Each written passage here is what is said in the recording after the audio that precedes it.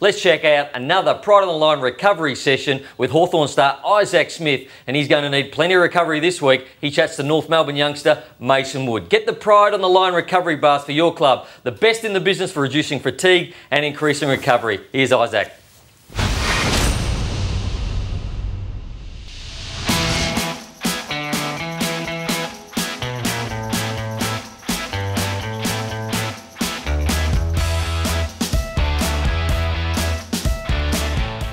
Hi, I'm Isaac Smith from the Hawthorn Football Club. Welcome to the Pride on the Line recovery segment.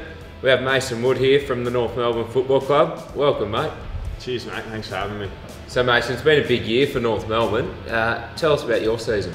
Yeah, well, Zach, it's been a bit up and down. Um, started off pretty well and getting a few games, and then got um, dropped about after round 10 and went back to the VFL and had a pretty consistent year there. But yeah, it would have been nice to play a few more games.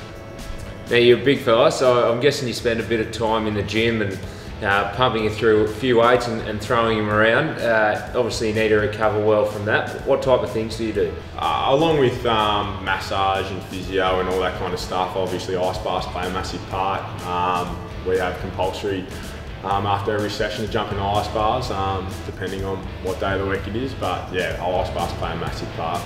Uh, Mace, as an elite athlete, it's important to be able to back up training sessions in the off season day after day to uh, make yourself better, and also in season being able to back up week to week so you can play the best football possible.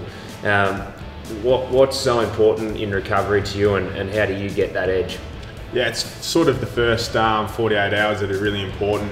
Um, I know at North Melbourne we jump in the ice bath straight after a game even during pre-season, jump in the ice bath, cool the core temperature down, really aids recovery.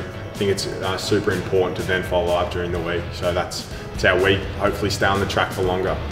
Well, thanks for joining us, Mace. As you can see, these ice baths are a great product. You can fit six or seven of me in here and probably three or four normal adults. So if you're a sporting club or just an individual who's trying to get better, they aid recovery, they limit fatigue.